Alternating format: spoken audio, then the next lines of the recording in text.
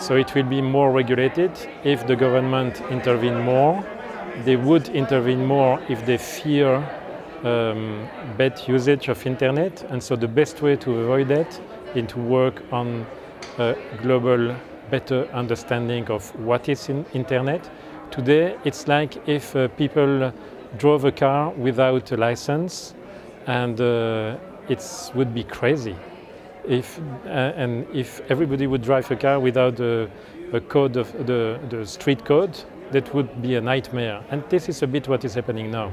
So we need to come to a point where the people have a much better understanding of what they do the consequence of they do and uh, the possibility that ha they have in their hands. Today it's like if everybody stayed on the coast there are much more to discover on the internet and it's necessary to learn it.